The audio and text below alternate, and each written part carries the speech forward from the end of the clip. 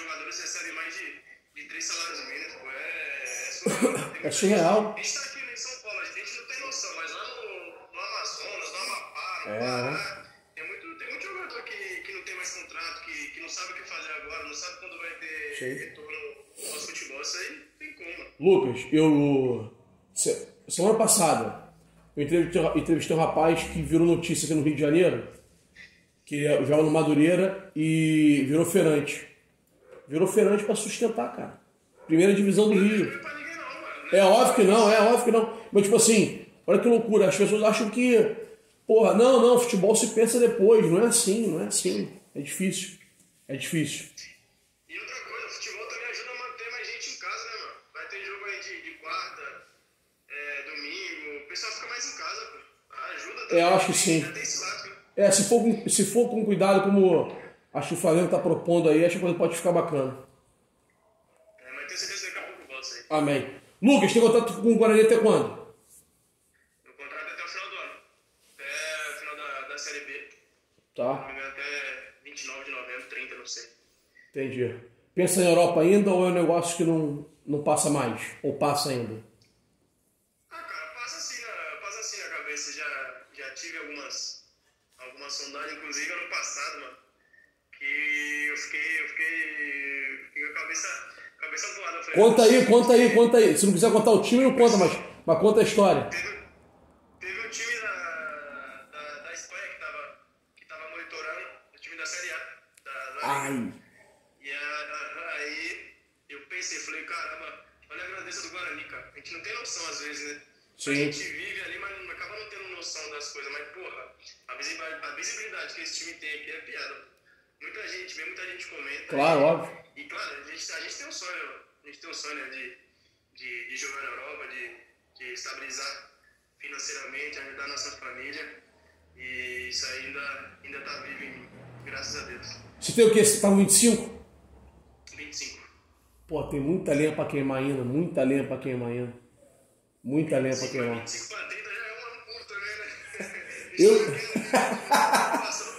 Tá no meio do caminho, tá no meio do caminho, tá no meio do caminho. tu acha é, o problema é que, cara, a gente vai viver um momento muito ruim no final do ano. Eu acho, eu acredito nisso. Isso se a. Se a. Como é que se diz? Oh meu Deus. Se a temporada não passar. Se a temporada não virar, virar pro ano, que eu- acho que tem grandes chances de virar. Porque tá demorando muito. Tá, tá, tá, vai- vai dar merda nas datas.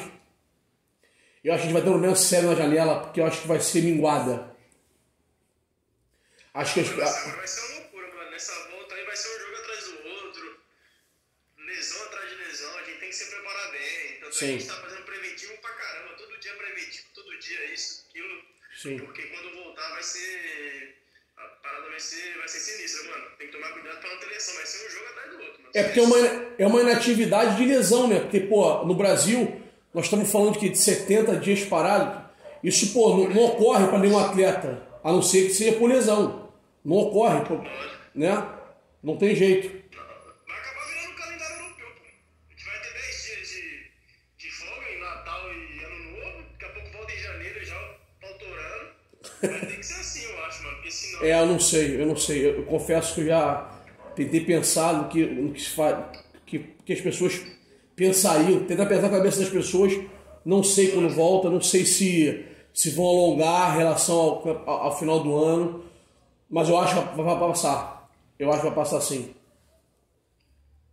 Vai passar, porque não tem como, vai acabar muita coisa. Vai ser um jogo atrás do outro, mano. Já tem o brasileiro. Se for os caras vão mudar a fórmula do brasileiro aí, É.